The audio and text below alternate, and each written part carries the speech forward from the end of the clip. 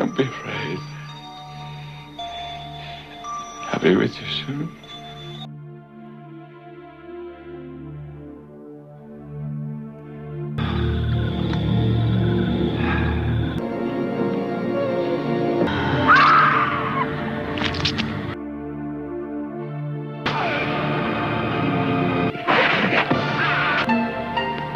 Don't worry.